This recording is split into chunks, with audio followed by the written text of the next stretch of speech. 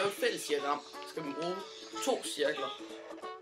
En for æg i det tilfælde, og den anden for lot lotto for eksempel.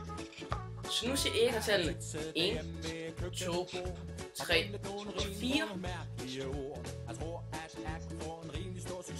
Og lotto har tallene 2, 7, 13.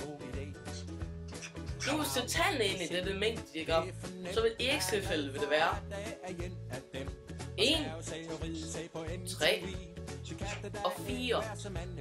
Og ved lotto vil det så være 7 og 13. Det vi så gør med de to sidste to år, som er tilbage, fordi de, er, de kommer ind i den inderste cirkel, fordi den er fælles hos begge to. Den er samme, altså en fælles enhed.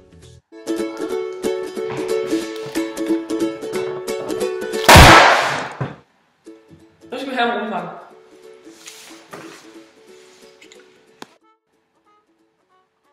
For at finde radius af en kugle, ligesom bolden er, har, er formen 4 tredjedel gange pi gange r i tredjedel. Så Vi har så fået radius af bolden her til at være 13,5. Så hvis jeg tager tallet ind, det er så 4 tredjedel gange pi gange 13,5 i tredjedel. Det giver 10.000 det giver 10.305 10.305 kvadrat hver kubikcentimeter.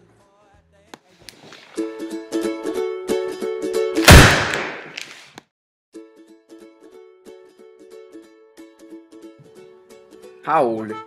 Han har taget sin grev med i dag, og nu skal han ud og finde, hvad for en høne det er, han gerne vil spise. Ole er nu ude og kigge på høns. Der er 10 høns, han kan vælge imellem. Der er 9 hvide og 1 sort. Hvad er sandsynligheden for, at Ole han vælger den sorte høne at spise i aften?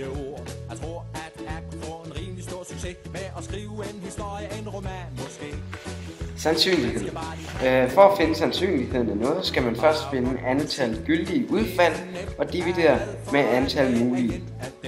For eksempel i vores tilfælde, hvor vi har valgt at gøre det med høns, skal man sige, den ene sorte høne divideret med antal i alt, det var 10. Og det giver så 1 ud af 10.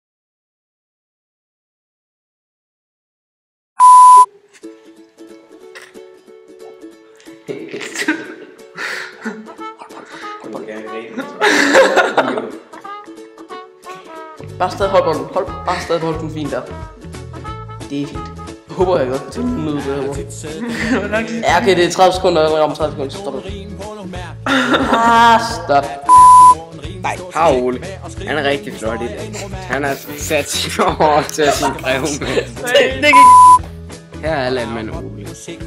Det er for nemt, er glad for, at det er en af dem. Ole har i alt købt 10 høns. Den ene høne er sort, og de andre er hvide.